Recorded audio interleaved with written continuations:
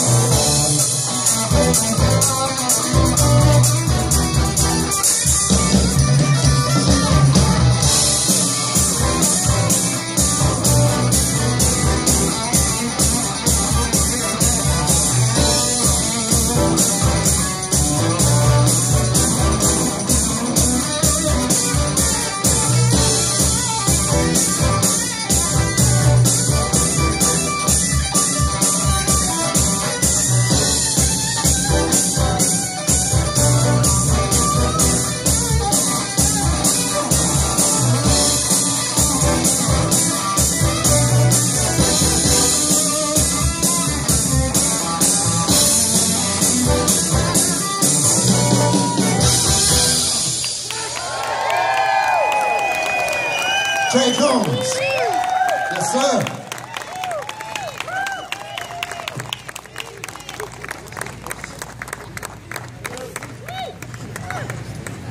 Once again, we're going to feature Mr. Trey Combs as uh, he sets up his